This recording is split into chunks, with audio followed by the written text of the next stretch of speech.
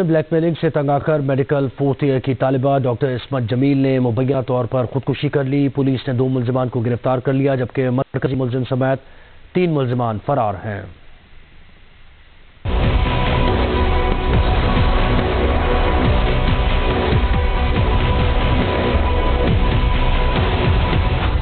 People's Medical College Nawab Shah में जेर तालीम फोर्थ ईयर की तालबा डॉक्टर असमत जमील की लाश दादू के इलाके सीता रोड के एक मकान से मिली। तालबा के वालिद खालिद जमील की मुदैयत में दो रोज पहले मुलजमान के खिलाफ ब्लैकमेलिंग हिरासा करने और धमकी देने का मुकदमा भी दर्ज किया गया था। तालबा के वालिद का कहना है कि समन सुलंगी नामी शख्स जाली निकाहनामा बनवा कर लड़की को ब्लैकमेल करता रहा और उनकी बेटी से नब्बे हज़ार रूपए भी बटोरे। उधर एसएसपी दादू एजाज शेख ने जियो न्यूज़ से गुफ्तगु में बताया कि मौके पर मौजूद शवाहिद से पता लगता है कि लड़की को करीब से फायर लगा है और उसने अपने आप को हिट किया है। तहम मजीद तहकीकत की जा रही है। पाँच मुलजमान में से दो को गिरफ़्तार कर लिया गया। मरकजी मुलजिम समेत दीगर की तलाश जारी है। जो सीन पे जो चीज़ें हैं फायर आर्म ही लगा है उसको और उसने खुद ही अपने आप को हिट किया है।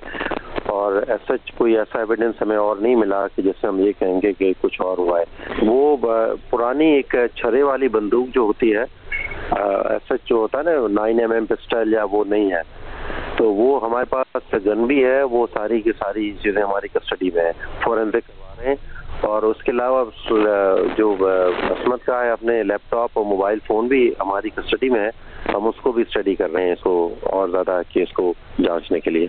उधर लड़की का एक मुबैना खत भी सामने आया है, जिसमें तालिबा ने अपने वालदेन से माजरत करते हुए लिखा है कि आपको बहुत दुख होगा, मगर वो कमज़ोर हो गई है। तालिबा की लाश का पोस्टमार्टम कर लिया गया है, रिपोर्ट अब तक नहीं आई। बेसिक हेल्थ यूनिट के एमएस डॉक्टर न्यास के मुताबिक इब्तदाई तौर पर खुदकुशी के शवाहिद मिले हैं।